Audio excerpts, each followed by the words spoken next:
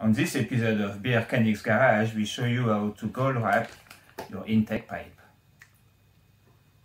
And your turbo head.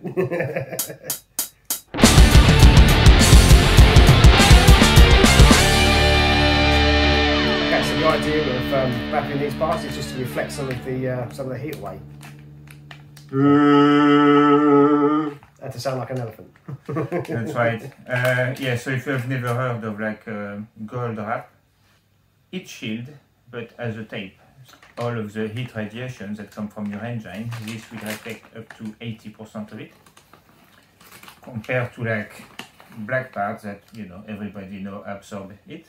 If you want it to look good, you need to do it the way we are going to show you, which is basically in a very short manner, you cut a lot of thin stripes and you overlay them nicely all over. And that way you can avoid having any creases. So it looks nice and smooth. And everybody loves a smooth golden pipe. Absolutely. okay, so first step in anything that involves glue is uh, clean your surface down. So a nice little bit of IPA and some uh, Batman underpants, always good. And brush, both of the parts are clean. And now what you need to do is do some measuring and some cutting. Going to measure out the first bit and then mark it up. So to show you a bit easier. So if you work on a irregular pipe like that, which doesn't change much in diameter but still change, go for the widest diameter. And then you can use that as a mark on every stripe you do, you know will be long enough and you know you can always trim a few millimeter you may have. So from there. Here we use a cardboard. So basically we are going to make ourselves a little marker so that when we have more stripe to cut, it will be nice and quick. We don't have to go around the pipe every time to check. Okay, so we've got it marked out, and um, I'm just going to do a, a very quick calculation to see roughly how much we'd need. So, like there. So, one, two, three, four, five, six, yeah, roughly seven. Now we just need to go and cut seven stripes. Four, five, six, seven. That's not in the middle, is it? That's nowhere near in the middle. Come on, Lee, what's wrong with you? Nice. Come on, compare, compare. Did how, how, Ah, they're- how they're- good did you get it? They're well off. I'll be better with the next one. It's nice. At least we'll have different rhythm and become handy anyway. There we go. We are all prepped. So we've got a small pile here to go for our turbo elbow, and the bigger pile obviously to go for the inlet pipe. Anyway, let's get. Uh, have a go. yeah. Okay, so now that we are all set, our tape is ready, our pipe is ready. So the way we are going to actually tape it is obviously around. But we obviously need to create a small overlaps. So the way to create your overlaps depends on which way your pipe is going to be aiming. So our pipe is this way. So what we want to end up is with that kind of pattern. This is basically to avoid seeing the shape. So general rule, if your part is pointing that way, or at least you're looking at it in that direction, you start taping from the back of the part going forward. That way each part will overlap the one behind. And you will still get little lines but it will be a lot smoother. So uh, that's what we're going to do. All right so uh, let's get started. Obviously another tip as well. We are going to wrap around and you will get a little joint at the back where the join. So if your part is facing like that, you want your joint to be underneath. For the best look, you basically want to be able to hide most of the part where the tape actually joins. So here, because we took at the widest bit, we are going to have a bit of an excess here. We can just retrim as we go.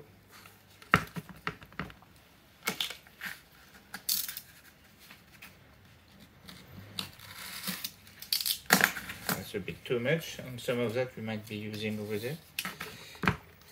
So again, our pipe is like that. So we're going to start about there. Remove it like any other tape. Helps if you got nails. Yeah. On the edge.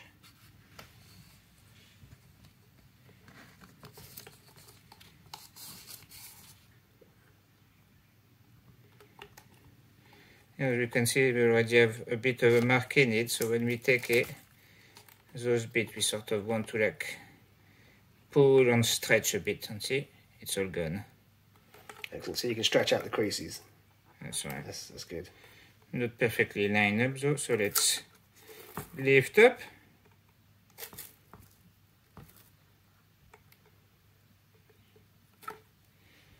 There we go. Look at that. After the silicone will move a bit, so it might not be perfect to line up, but you can always trim. That's your first bit done without any creases. We've got a bubble of here, just popping out. Next one. Let's take one of the thinner one. A smaller one. Yeah, a thinner piece might have been better actually. Yeah. No, Bozeman. so you go, guys. So that's a good way to test. We thought we had enough. But what we can do is just grab one on a thin one. Go with a high-tech roller.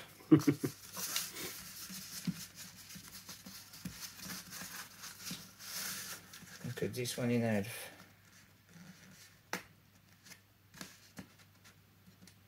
Basically, don't be scared to cut into smaller pieces. And there you go. As you can see, if you look this way, which will be the back way, you can see the overlap. Or if you look this way, the overlap is a lot smoother. Yeah, it's a lot harder to see. And basically now, you continue until you're all done. And uh, we are going to spare you all that work and just bring you back to when this pipe is done. I'll show you the result. That one bit done. That one obviously, uh, you know, is a bit trickier with the sensor locator and stuff. It's not perfect. But uh, it was a lot trickier than you think. For this one, you just take small bit and, uh, whew, and then you try to escape. Yeah. I mean, this part, you know, you spend as much effort as you want, but, uh, you know, once it's set up inside the car, you won't see it. So, to be honest, I'm quite pleased with the result. Not bad, not bad. At least gain an extra uh, 0.1 brake horsepower there. and he's working on his golden pipe that is Yeah, yeah. well placed. I've actually found it's been slightly easier to um, measure out where it's going to finish, but actually start on this top bit and then work your way under. Got a couple of bits of cut tape. and here we go, we're all done. Wasn't hard. It's not perfect, but you know we've got quite a that's quite a flexible part. If you had the proper hard part, it'll probably be easier. And this obviously was a bit fiddly with all those bits here and there. But overall, I think uh, we did a good job. And here you go, guys, all done. Lovely golden pipe. I'm well jealous now.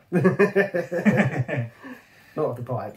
Just been able to do that. And uh, yeah, I mean, obviously we won't get much performance gain, um, but it does reduce the temperature inside the tube a little bit. There is a lot of people who argue, oh yeah, but with the velocity at which it goes into it, uh, the hair doesn't have time to warm up enough, you know, but It looks good anyway. it looks good anyway, and uh, why do they bother uh, in motorsport to cover all of their stuff with that stuff, including up to the intake? Mm. After it probably makes bigger difference on the track, and you're really hammering it, but because we eventually want to go to the track, especially to the track strip with a lot of our vehicle, so it's possible that you know when they do launch after launch after launch, what doesn't make a difference every day makes a little difference on the track or the drag strip and you know can be the difference between getting an extra two uh, cents of a second on you know maybe you're under your 11 and you're under your 12 or whatever so so yeah you know it makes your stuff all shiny It does, looks really nice. And um, yeah, one of those rolls actually did did the whole lot. We've still got a little bit of it left as well. There's a couple of off cuts on the floor. Yeah, yeah, and you've got yeah, quite little bit of a half cut, a couple of stripes that we put down and took off again. Uh, but yeah, overall it's it's quite easy. Uh, you know, and uh, yeah, I really think overall nice result as well. Yeah, And again, this is one of those modes where this is us doing it for the first time. yeah. So if, if we can get it looking like that, If you can do it, you can too. absolutely. And it's, you know, rather cheap. We'll obviously put a link in the description. I think this one was from Awesome GTI, but we'll put a link in the description. Be careful uh, if you do go for that mod. Don't just buy the cheapest gold tape you can find on eBay or whatever because you know it's not because it's gold that it's got the heat protection uh, capabilities of the proper stuff. On the proper stuff, I think it was like might even be 20 pound per roll, and uh, yeah, we've got another roll, and still quite a bit of pipe. You know, it's quite quite thickness there. So uh, yeah, Very good. All right then. Like and subscribe. See you in the next one. Bye yeah. Bye-bye. Look at. This episode of Beardchanics Garage.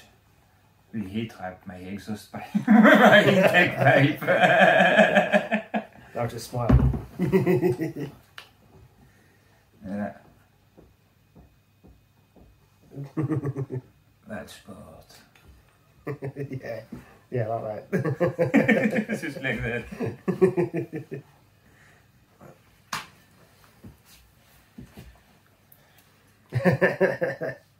Boop. the people that wish they could do that.